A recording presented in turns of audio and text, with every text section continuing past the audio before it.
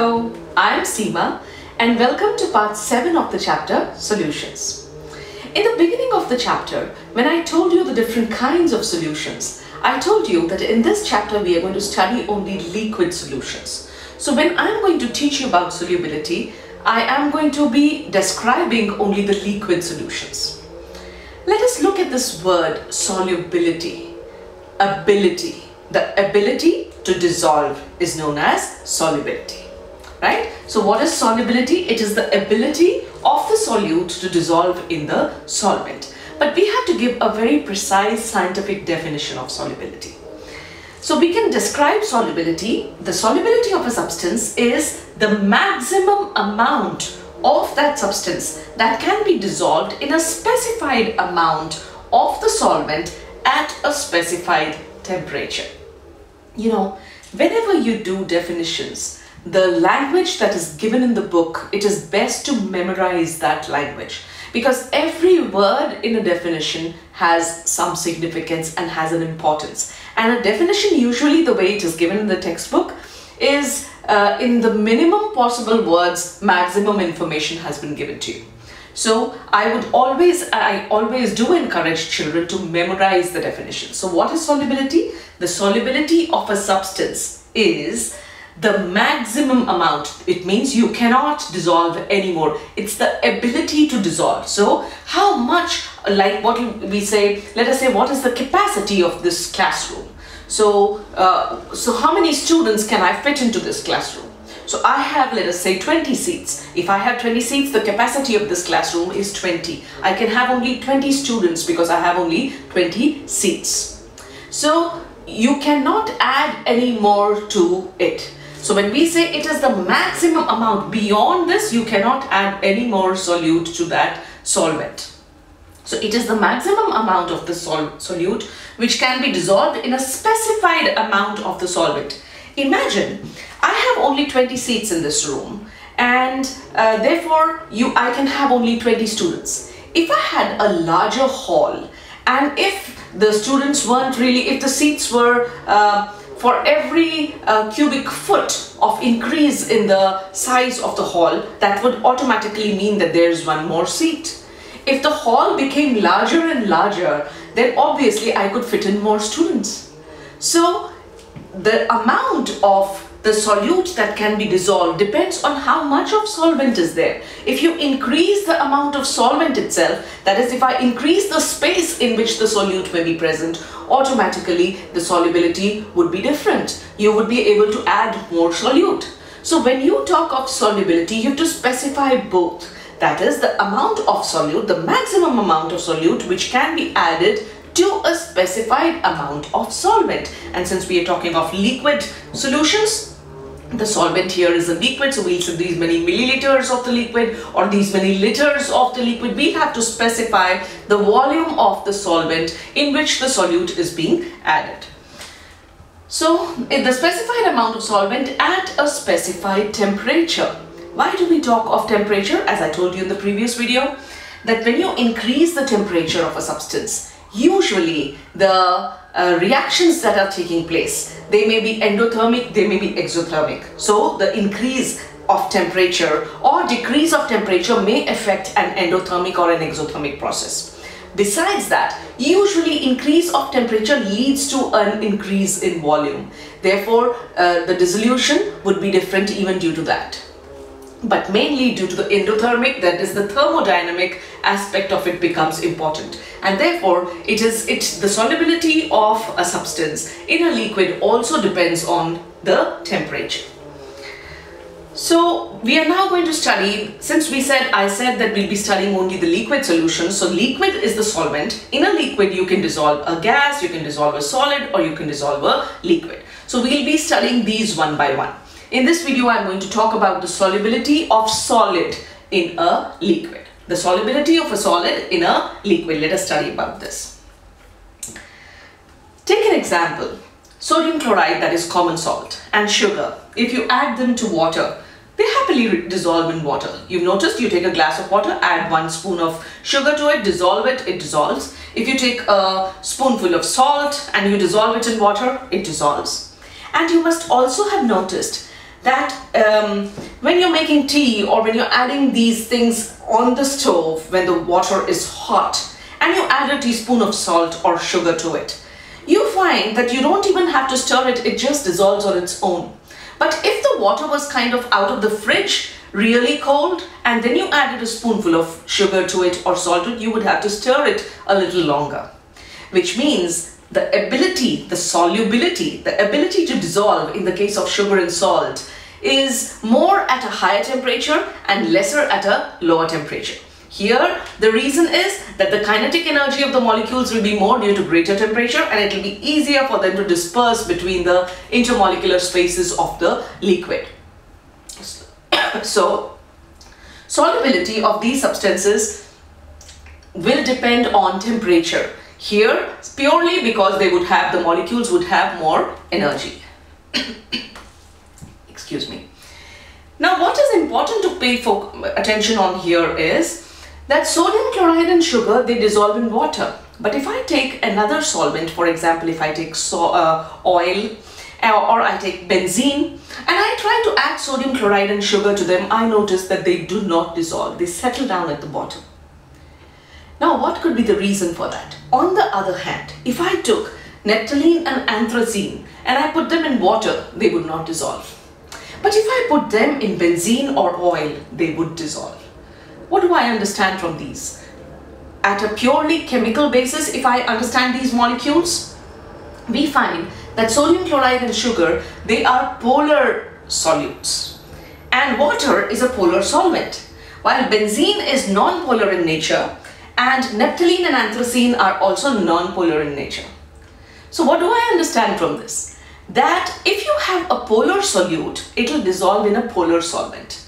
And if you have a non-polar solute like naphthalene and anthracene, it will dissolve in a non-polar solvent. Let us imagine that you have, uh, I take you to a, a, let's say, a concert.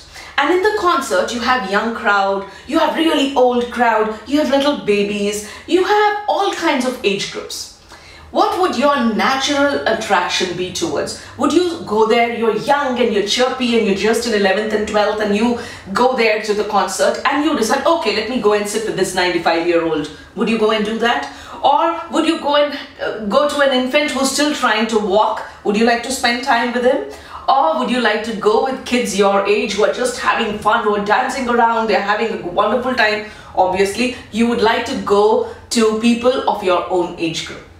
So it is known that whatever is alike is attractive. So like dissolves like. So if you have a polar solute, it will dissolve in a polar solvent. But if you have a non-polar solute, the non-polar solute will dissolve in a non-polar solvent. So this is one thing that we notice about the solubility of solids and, and it's not just solids in liquids, this is solubility in general. If you take even oil and water, both are liquids, but oil and water do not dissolve because oil is non-polar while water is polar right? So solubility of any substance, what does it, sodium chloride, sugar, substances which are polar dissolve in polar solvents and solutes which are non-polar dissolve in non-polar solvents. And therefore we use this term is often used that like dissolves like. Similar molecular natures, they dissolve. Now when a solute is added to a solvent, let us say you add a solute to a solvent. I have a little bit of water, let us say it is about 100 milliliters in a glass and I take a teaspoonful of coffee. I could have taken sugar or salt but that, those would have been transparent so I used coffee. When you put coffee into this, it starts dissolving. Do you notice? The color of the water starts changing. It is happening on its own right now. Do you see there's a lot of agitation in the in the glass and when I stir it the coffee starts dissolving and you get a nice it is soluble it takes a little time because it was granular instant coffee and then I get this solution you know honestly I have added coffee only for the color if it was a pure well dissolved solution it would have been transparent but I added the color just to for the dramatic effect. This is actually a colloid. I'm sure you've studied about it in your class 10. because it's not transparent, it is translucent. Now when you added the solute to the solvent, what happened? What are the steps that occur? In the first step, we notice that dissolution occurs. The solute starts dissolving, it starts dispersing in the intermolecular spaces between the liquid molecules. And this process of the molecules dispersing and distributing themselves all over is known as dissolution. So as a result of dissolution, what happens? You have the solid, which you added. In my case, I added coffee, which was, uh, or sugar or salt that you added the, in, you will have the solid sugar or salt and when you start stirring it you find some of the molecules they start moving away so you have some of the uh, the solid that you added in the form of solid and some of it starts leaving the solid and entering the solution so the concentration of the sugar or salt that you added starts increasing slowly in the solution or in the solvent. Initially the solvent was clear, it was pure water. When you added a spoonful of sugar or salt as I did coffee for the color, the initially all of it was pure. But as you added the solute, the solute started distributing itself and therefore the concentration of the solute in the solution starts increasing and it keeps on increasing. And then what do you notice what happens? After a little while, as this happens, the concentration initially is just increasing because there's enough space. Let us say that I open the door to the classroom and I start letting students come in. And as they come in, I have only one student. He has no one to collide with. He just goes and he sits wherever he likes. Another one, another one, another one. Finally, I find that out of all the 20, as they came, they randomly sat. Now when one comes in, he finds that the, his best friend is sitting with somebody else. So he comes and he, there is a clash. He comes and he tells him, the person sitting next to his friend, that why don't you move to another seat because I'll get to sit with my friend. So that is when collisions start occurring and we find that this one says, oh no, no, I'm just going to sit here. And he says, oh, I'll sit with my friend, please move.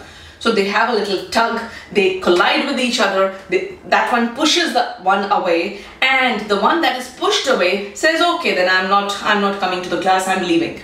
He leaves and he goes back to the solid and it goes and gets deposited again in the form of a solid. I'm just trying to dramatize. Basically, when the molecules start colliding with each other, some of them, they lose energy as a result of that collision. And when they lose that energy, though they go back in the solid state. Because for the solid to convert into the liquid state, it gains energy. But when they collide and they lose energy, some of the solute particles go back and start getting solidified. So we find that two opposing processes start taking place. The, the solute is getting dissolved, so dissolution is occurring. At the same time, crystallization has also started occurring. And the rate of crystallization and dissolution they go on increasing until a point comes where both the dissolution and crystallization become equal. Both the rates become equal. At that point an equilibrium is established.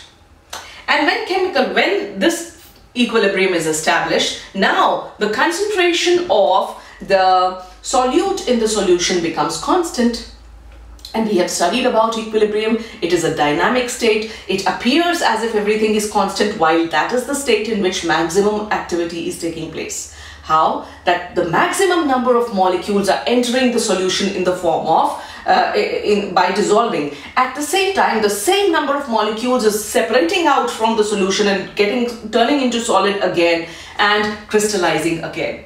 So this is a very dynamic state.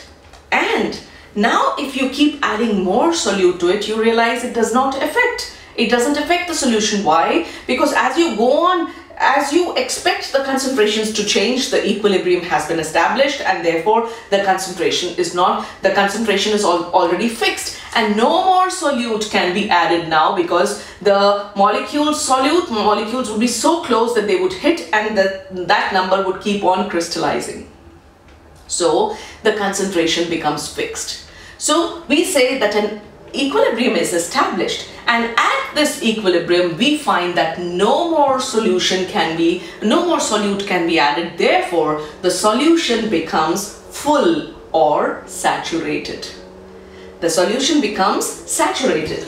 Now, when you, the equilibrium is, the reaction is that you add solute to solvent and it results in the formation of solution and the concentration of dissolved and undissolved solute at equilibrium becomes constant, that is the state of equilibrium. But also at this state, the solution becomes saturated. Even if you keep adding more solute to it no more of it is going to remain is going to dissolve because already enough is being whatever is adding to the solution is being thrown out in the form of crystallization. So such a solution would be called a saturated solution.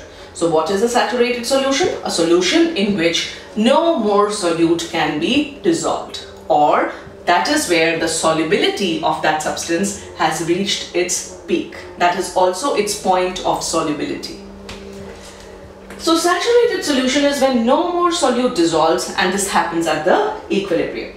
What are the factors that affect the solubility of solids in liquids since we are talking of solids and liquids? There are two factors that affect solubility, temperature and pressure. So we are going to study both of these. For a solid in a liquid, how would it affect temperature? We have studied about uh, equilibrium and we've studied about Le Chatelier's principle. According to it, whenever there's a disturbance in the equilibrium, in any way, the equilibrium shifts in a direction so that it can undo the effect of that change. So if the forward reaction, let us say the formation of a solution is an endothermic or an exothermic process. And since it's a it's an equilibrium, therefore if the reaction is endothermic in the forward direction, it will be exothermic in the backward direction. Right? That is one thing. If you increase the temperature, if you increase the temperature, now there is a reaction which is endothermic. Endothermic means it needs heat to be to carry out the reaction. So any reaction which is endothermic will be helped by an increase of temperature because what does it need? It needs heat and what are you doing? You're providing heat by increasing the temperature. So whichever direction is endothermic, it will be helped by the increase of temperature. So how does temperature affect the solubility of substances? If at equilibrium, the reaction should follow the Le Chatelier principle in a nearly saturated solution. Now, on both the sides, we do not say it is absolutely saturated because both the processes are still going on. Therefore, we will say it is a nearly saturated solution. Now, in which direction? If the dissolution process is endothermic, then if you increase the temperature, if the dissolution process, that is formation of solution towards this direction is endothermic, then an increase in temperature will help the increase of dissolution. So if delta H solution is greater than 0, then the solubility will increase with increase of temperature. But if the formation of solution is on the other hand an exothermic process, then increasing the temperature will not favor the reaction. And if you increase the temperature, it would decrease the solubility. And uh, or in other words, you will find that more of solute is being formed. And the next factor that affects solubility of a solid in a liquid would be pressure or rather so the other factor that affects solubility is pressure. But in the case of the dissolution of a solid in a liquid, both solids and liquids are incompressible by nature. You cannot compress them. Therefore, the presence of uh, the effect of pressure on both solids and liquids would be almost negligible. There would be no effect because neither do solids contract on uh, applying pressure nor do liquids do that because pressure they already have fixed volumes if you add pressure to it it does not it does not affect them in any way. So there is no effect of, no significant effect of pressure on the solubility of solids in liquids. So with that, I'll finish today's video. If you found it helpful, please give it a thumbs up, subscribe to my channel, recommend it to your friends, and please keep returning for more videos in chemistry. Thank you for watching and bye-bye for now.